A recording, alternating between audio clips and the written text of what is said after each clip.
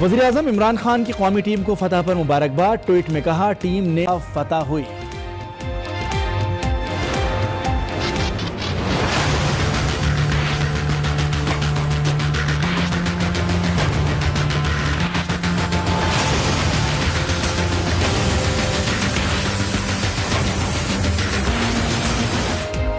Headingley stadium के बाहर, पाकिस्तानी और अफगान शायकीन के दरमियान झगड़ा। अफगान बाशिंदों ने पाकिस्तानी मद्दाह पर घूसे और लातें बरसा दी। सिक्योरिटी एहलकारों से उलझे। पाकिस्तानी सहाफ़ी को धमकियाँ भी दी। इस वक्त मुल्क एक शदीद, मुआशी, सियासी और क्यादत के बहरान से गुजर रहा है। ऐसे बहरान, जो इससे पहले ना कभी देखा, ना कभी सुना। मुल्क शदीद मौशी बहरान से गुजर रहा है। इमरान खान की हर बात झूठ निकली, मीशत को मुकम्मल तौर पर आईएमएफ के हवाले कर दिया गया। Chairman Peoples Party Bilawal Bhutto ने गुजर खान से हुकूमत पर तीर बरसा दिए। कहा, पूरे खानदान और पार्टी को गिरफ़्तार कर लें, लेकिन अवाम के मौशी हकूक पर समझौता नहीं करेंगे।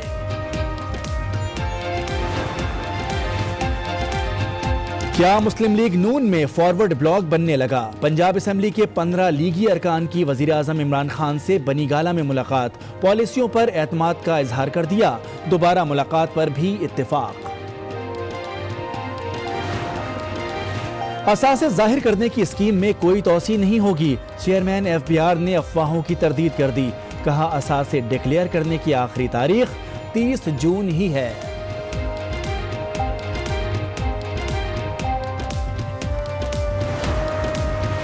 किस मुँह से कोई बात कर सकता है डॉलर के ऊपर? जिम्मेदार तो ये लोग हैं कि यहाँ से पैसा बाहर लेके जा रहे हैं। बड़ी बात हुई सिलेक्टेड प्राइम मिनिस्टर की। और इधर सिलेक्टेड की बात कर रहे हैं जिनको मैन्युफैक्चर किया था मिलिट्री डिक्टेटरशिप की नर्सरी में। वज़ीर आज़म इमरान खान ने सिलेक्टेड कहने वालों की क्लास ले ली। खुद एनआरओ लेने वाले किस मुँह से सिलेक्टेड की बात कर रहे हैं? कौमी असम्बली में खिताब में कहा मनी लॉन्ड्रिंग मुल्क की सबसे बड़ी लानत है। डॉलर की कीमत में इजाफे का जिम्मेदार अपोजिशन को करार दे दिया। दिफाई बजट में इजाफा न करने पर पाक फौज की तारीफ़।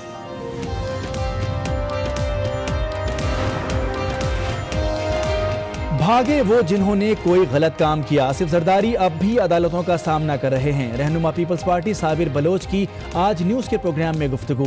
पीटीआई रहनुमा उमर सरफराज चीमा ने मिड टर्म इलेक्शन को दीवाने की ख्वाहिश करार दे दिया। भाई, मेरी बहनें खड़ी हैं। इनकी काविशों को खराज तसीम पेश करती हूँ कि इन्होंने मेहनत करके एक ऐसे माफिया का मुकाबला किया जो ब्लैकमेल करने के लिए पार्लियामेंट का ढाल बना के उसके रोल को मिलान कर रहे थे। ब्लैकमेल करने के लिए पार्लियामेंट को ढाल बनाया गया। बजट इजलास में अपोजिशन को वक्त मिला, लेकिन आवाम के लिए एक लफ्ज नहीं बोला। मामून खसूसी बरए इतलात फिरदौस आशिक अवान की तनकीद कहा अपोजिशन आवाम को हिसाब दे। बताया जाए पैसा कब वापस करेंगे। मरी के सयाहती मकाम, पत्रियाटा में चेयर लिफ्ट हादसा। नब्बे में से 27 अफराद को बाहिफाजत उतार लिया गया। अंधेरे और मुश्किल रास्ते के बायस इमदादी कार्रवाइयों में मुश्किल मौसम ने रंग बदल लिए। इस्लामाबाद, रावलपिंडी, मरी, अटक और करक में मूसलाधार बारिश से मौसम खुशगवार। मालाकंड हजारा, कोहाट और बन्नू डिवीज़न में तेज बारिश से मौसम सुहाना हो गया।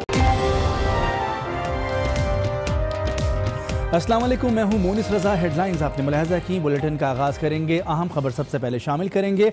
मरी सयाती मकाम पटियाटा में चेयर लिफ्ट में फंसे नब्बे में से सत्ताईस अफराद को बाहिफाजत उतार लिया गया है। शदीद आंधी और तूफ़ान के बायस पटियाटा केबल कार का रस्सा पुली से उतर गया था, जिससे केबल कार बंद हो गई थी। डीसी रावलपिंडी मोहम्मद अली रंधावा के मुताबिक चेयर लिफ्ट में फंसे दीगर अफराद को निकालने के लिए ऑपरेशन जारी है। इस हवाले से ताज़ा तरीन सूरत हाल जान लेते हैं। वहाँ मौजूद आज न्यूज़ के नुमाइंदे अब्दुल हमीद अब्बासी से। अब्दुल हमीद अब्बादी बताइएगा कि इमदादी कार्रवाइयों की क्या सूरत हाल है? चेयर लिफ्ट में फंसे अफराद को निकाल लिया गया है?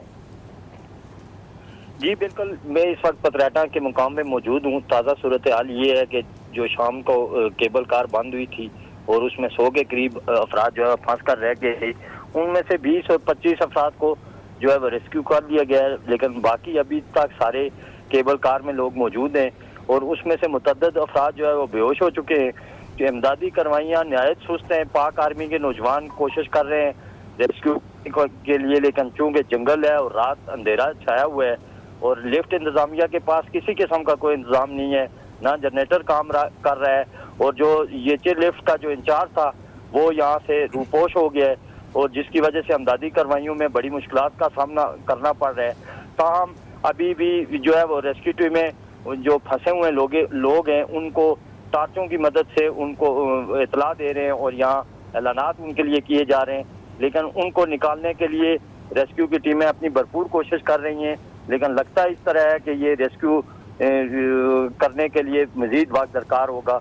अभी तक इतलात ये भी हैं कि मुतद बंदे मुतद अफराद जो है वो बेहोश हो चुके हैं। अब्दुल हमीद ये बताएगा कि कितना वक्त दरकार होगा? कुछ अंदाज़ा है? या सुबह होने का इंतज़ार किया जाएगा? या इस तरह की लाइट्स का बंदोबस्त कर लिया जाएगा सुबह से पहले?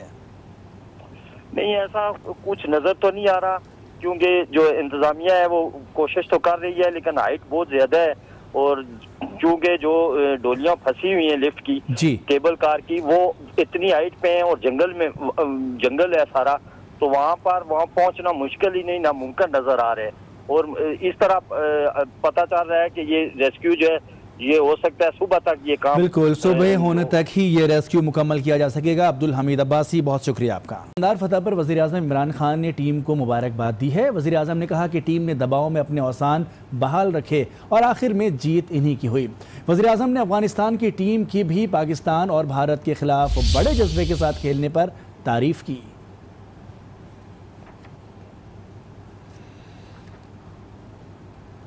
सबक कप्तान मोइन खान कहते हैं कि पाकिस्तान ने आसान हदफ को मुश्किल बना दिया। बल्लेबाजों को ज़िम्मेदारी दिखाना चाहिए थी। खराब परफॉर्मेंस से जीत जाना यही पाकिस्तान टीम की पहचान है। No doubt it was a team effort today जहाँ खराब रही वहाँ अच्छी भी टीम नहीं की है। So I think it was a balance performance today not very good but जो पाकिस्तान का हम्म। कहना चाहिए कि एबिलिटी है इन तमाम प्लेयर्स की उस पोटेंशियल के ऊपर मैं कहूँगा ये एवरेज पाकिस्तान ने शो किया है। मेरा ख्याल है कि हमने खुद इनवाइट किया उनको हम्म। अपने आप को अंडर प्रेशर करने के लिए। मेरा ख्याल है कि the way our batsman batted today it was I mean very pathetic way disappointing गलत शॉट खेलते गए और आउट होते चले गए। Running between the wicket pathetic थी। आई थिंक जिस तरह हमने देखे दो रन आउट हुए। But at the end again मैं समझता हूँ कि ये हकीकता हमारा फ्लेयर ये है जो इमाद ने और वहाब ने बैटिंग की है या शादाब थोड़ा सा खेल के साथ में। ये पाकिस्तानी प्लेयर है बेसिकली ये गट्सी है शो की है गट शो की है इन्होंने। हम्म। और कम बैक की है मैच में। At the end thanks god कि हम जीत गए मैच अदरवाइज़ बहुत मुश्किल होती है पाकिस्तान को। बाहर वर्ल्ड कप में पाकिस्तान टीम का ज़बरदस्त कम चौथी पोजीशन के लिए अपनी जगह बना ली है। कौमी टीम पॉइंट्स टेबल पर चौथे नंबर पर आ गई है। घूसे और लाते अफगानी फैंस आपे से बाहर हो गए। लीड्स में तहजीब ही भूल गए। स्टेडियम के बाहर मार कुटाई की। आए, आए, आए। पाकिस्तानी फैंस और सिक्योरिटी एहलकारों से उलझे। Should be a friendly match. There shouldn't be no arguments in the game. Bad impression है। ये गेम है। गेम को गेम ही लेना चाहिए। कमेंट्स को मर्ज़ी करो लेकिन ये जो हाथापाई है तो नहीं होनी चाहिए। सबसे पहले अफगान भाइयों ने लड़ाई झगड़ा शुरू किया। इसके बाद पुलिस में लगाया आई। पाकिस्तानी सहाफ़ी को भी धमकियाँ दी। को हिरासत में लिया गया था यहाँ की सिक्योरिटी की जानब से उनको छुड़वाने के लिए उनके साथी जो हैं वो सरगर्म थे और जब वो उसमें नाकाम हुए तो उन्होंने जब पीछे मुड़ के देखा तो मैं कैमरे से वीडियो बना रहा था। बहुत सारे लोग बना रहे थे लेकिन उन्होंने मेरे पर टारगेट किया मुझे धक्के मारे मुझे गालियाँ निकाली। यही नहीं स्टेडियम के अंदर भी झगड़ा किया। सिक्योरिटी एहलकारों ने दो अफराद को बाहर निकाल दिया। आईसीसी भी हरकत में आया। पुलिस के साथ मिलकर मामले को कंट्रोल किया। मोहम्मद शामी के बाद न्यूजीलैंड के ट्रेंट बोल्ट ने भी वर्ल्ड कप में हैट्रिक कर डाली। बोल्ट ने ऑस्ट्रेलिया के खिलाफ हैट्रिक की। बोल्ट न्यूजीलैंड की जानब से वर्ल्ड कप में हैट्रिक करने वाले पहले बॉलर बन गए हैं। वजी अजम इमरान खान की कौमी टीम को फतह पर मुबारकबाद, ट्वीट में कहा, टीम ने फतह हुई।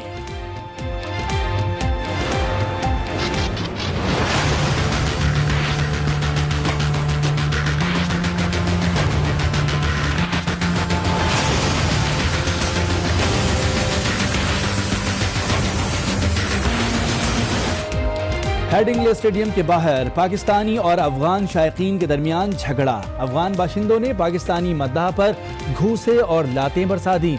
सिक्योरिटी एहलकारों से उलझे। पाकिस्तानी सहाफ़ी को धमकियाँ भी दी।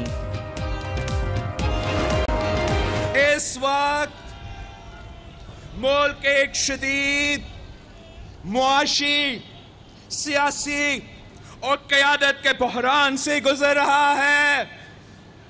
ऐसे बहरान, जो इससे पहले ना कभी देखा, ना कभी सुना।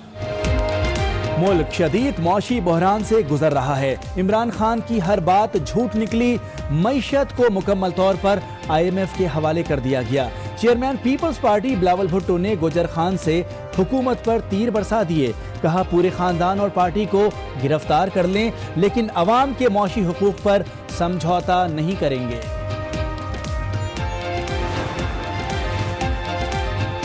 क्या मुस्लिम लीग नून में फॉरवर्ड ब्लॉक बनने लगा? पंजाब असम्बली के पंद्रह लीगी अरकान की वज़ीर अजम इमरान खान से बनी गाला में मुलाकात। पॉलिसियों पर एतमाद का इजहार कर दिया। दोबारा मुलाकात पर भी इत्तेफाक। असासे ज़ाहिर करने की स्कीम में कोई तोसी नहीं होगी। चेयरमैन एफ़ बी आर ने अफवाहों की तरदीद कर दी। कहा असासे डिक्लेयर करने की आखिरी तारीख तीस जून ही है।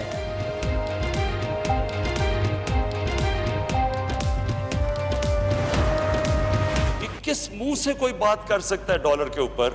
जिम्मेदार तो ये लोग हैं कि यहाँ से पैसा बाहर लेके जा रहे हैं। बड़ी बात हुई सिलेक्टेड प्राइम मिनिस्टर की। और इधर सिलेक्टेड की बात कर रहे हैं जिनको मैन्युफैक्चर किया था मिलिट्री डिक्टेटरशिप की नर्सरी में। वज़ीर आज़म इमरान खान ने सिलेक्टेड कहने वालों की क्लास ले ली। खुद एनआरओ लेने वाले किस मुँह से सिलेक्टेड की बात कर रहे हैं? कौमी असम्बली में खिताब में कहा मनी लॉन्ड्रिंग मुल्क की सबसे बड़ी लानत है। डॉलर की कीमत में इजाफे का जिम्मेदार अपोजिशन को करार दे दिया। दिफाई बजट में इजाफा न करने पर पाक फौज की तारीफ़।